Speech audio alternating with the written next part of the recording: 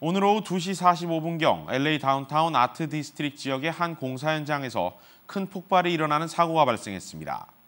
사고는 130 사우스 휴잇의 공사 중인 5층짜리 건물 지붕에서 발생했는데 인근 시청과 리틀 도쿄에 있는 사람들이 다 느껴질 정도의 강한 폭발이었습니다. 폭발 직후 LA 소방국은 75명의 소방관이 출동해 현장 수습에 나섰습니다. 화재 원인은 지붕 공사에 사용된 프로페인 가스와 인화 물질인 타르통이 터진 것으로 보고 있습니다. 이번 사고로 사상자는 발생하지 않았습니다.